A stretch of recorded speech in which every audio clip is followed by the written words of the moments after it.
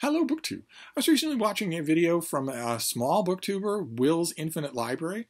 Uh, he did a roundup kind of video where he talks about a whole bunch of different books, uh, and one of them was Jitterbug Perfume by Tom Robbins. And I was I was curious about that. It, you hardly ever hear anybody talk about Tom Robbins. Most of his books, I think, are probably out of print. They're certainly not modeled in bookstores anymore the way they were 20 years ago, when all of his books were modeled in bookstores, and uh, that which meant that if you sold one, you got one back.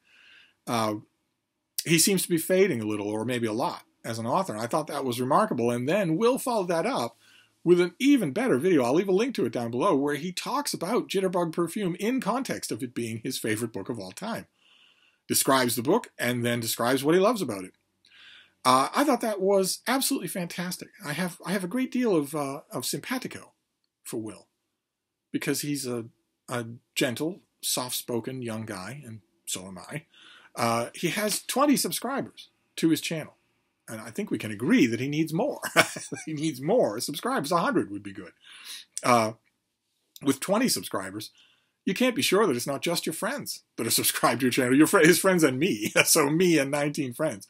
Whereas if you have 100 subscribers, well, then those aren't, nobody has 100 friends, except for Leslie at the Nerdy Narrative. Nobody has 100 friends. So then you know you're actually reaching an audience.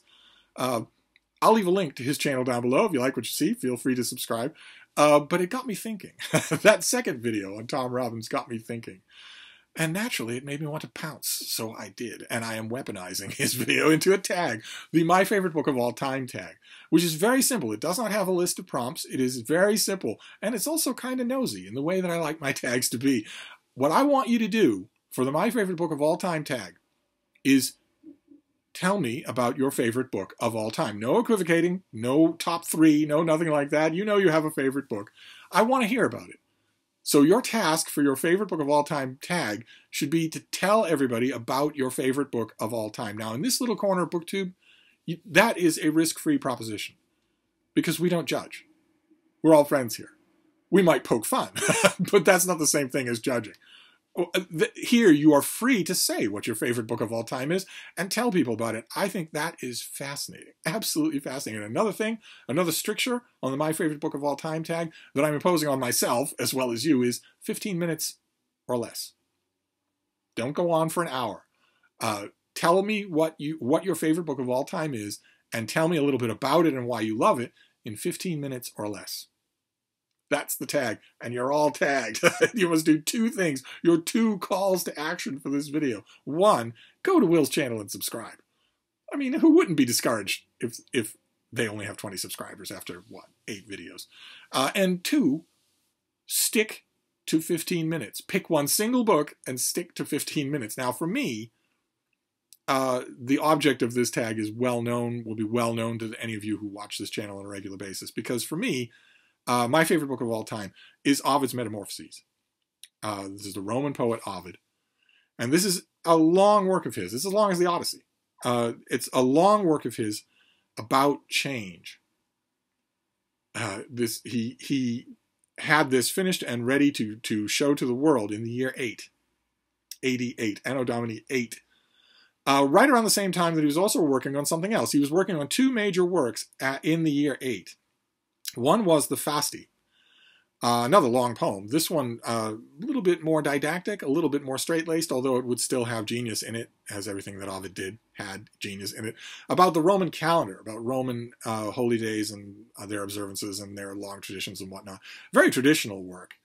But he was also working on this, and there is nothing traditional about this work. There's nothing like it anywhere in the ancient canon, nor anywhere since. It's astonishing, an astonishing work about change, about things changing from one to another. As Ovid says over and over again, everything changes. So he starts off the book, it's sort of three rough stages of the book, if you want to call it that. Uh, he starts it off with the world precipitating out of chaos into its current state, and then retracing, retelling in virtuoso verse uh, the great and famous Greek myths and a whole bunch of obscure Greek myths. Any Greek myth really that he could get his hands on that involves something changing into something else.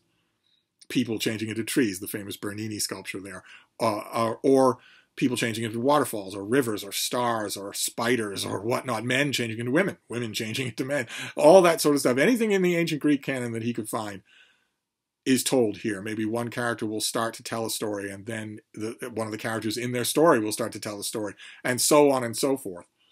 And then the second rough phase of the book shifts to Roman mythology, uh, including uh, Aeneas, including the, the subject matter of, of the the previous great poet of, of Rome, Virgil. Uh, Virgil had been dead for a while when Ovid wrote this book, though Ovid had no peer as a Roman poet. He was the foremost poet of his day. Uh, and clearly, I think, in the Fasti and the Metamorphoses, wanted to up his game in terms of art in order to corroborate that, in order to go along with that.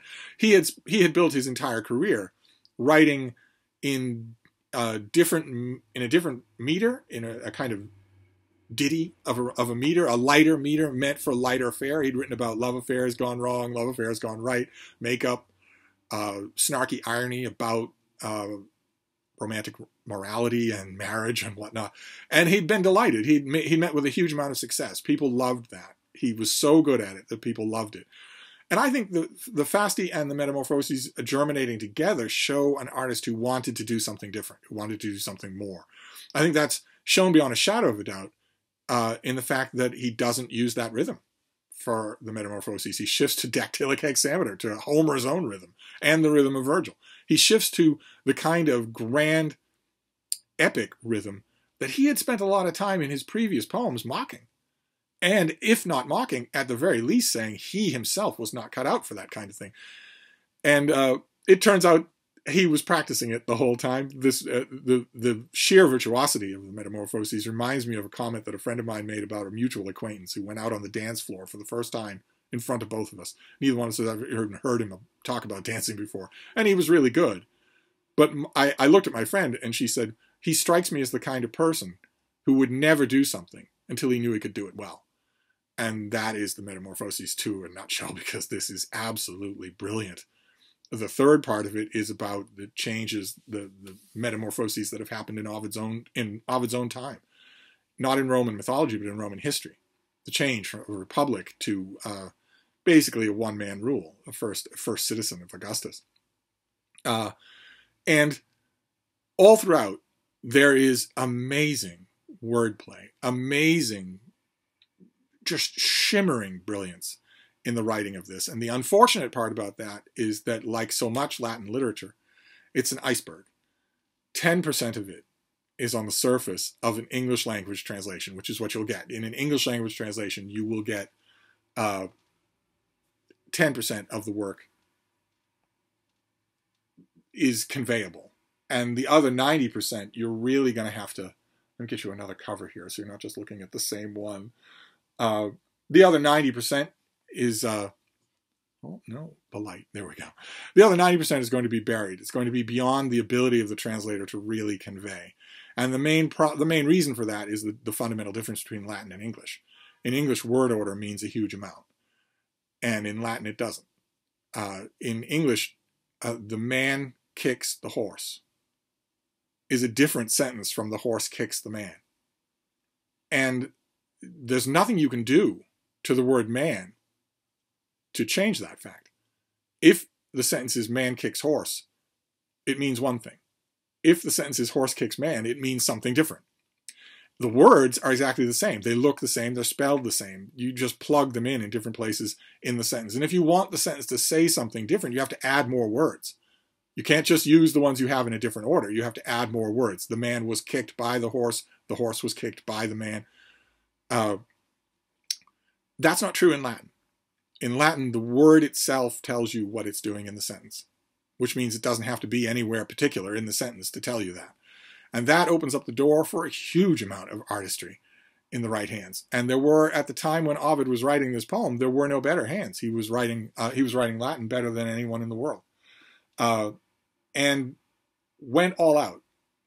He he goes all out uh, in this poem to show rhetorical brilliance, to do things with that particular uh, construction that uh, that can't be duplicated in English, unfortunately. Uh, let me see. Let me get you another cover here so that I'm not just nattering away. Uh, there we go. There's the Norton Critical Edition. Uh, I'm eating into my time here because you're stuck to your time. You're, there we go. Uh, in in Ovid, the the uh, the word order doesn't matter so much. It's the word will tell you where it belongs in the sentence, and therefore it can sometimes even be left out. It can be gapped right out of the sentence. Uh, that allows for a genius that is not going to be reproducible in English. So the English translations that you get will sometimes be very good. The the current Penguin Classic is a verse translation. It's very very good.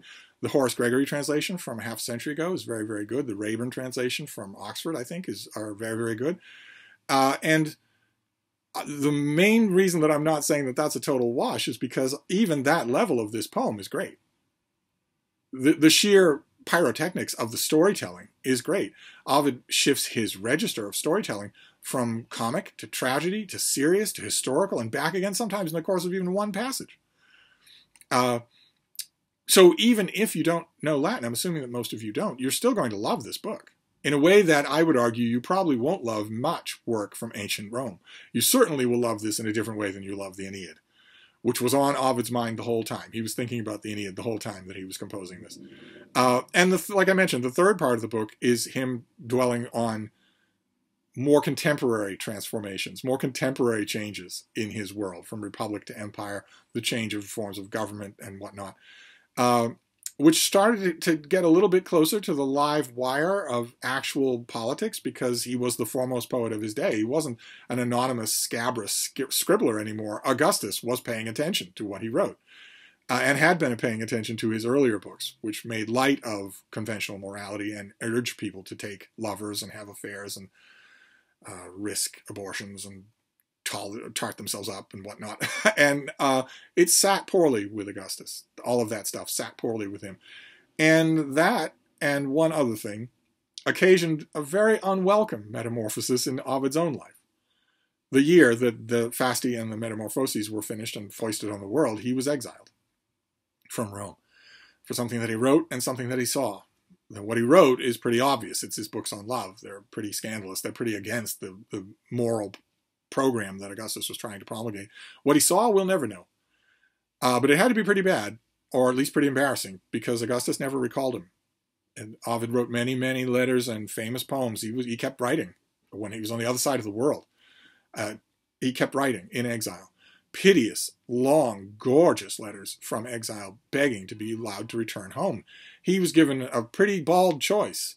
Go into exile without your family, without your children, without your wife, without any kind of support or anything like that. The only reason a man would take a choice like that is if he were told, if you don't do that, we'll go after them. If you do go after, if you do go alone, we'll leave them alone. They'll have their property and everything else. But if you don't, they'll suffer the same right along with you. That's the only reason that that anyone would do that. And Ovid did. He went into exile, and whatever he saw that was so bad, uh, was so bad that even when Augustus died, his successor Tiberius did not recall Ovid. It was one of the first things that people asked him. Will you please recall the poet? That's what the Romans called him, the poet. And he didn't. He refused. Ovid died in exile, miserable in exile. Uh, but there was one other transformation, one other metamorphoses that he had correctly foreseen at the end of his poem, at the end of this incredible, incredible poem that I urge you all to try, even in English.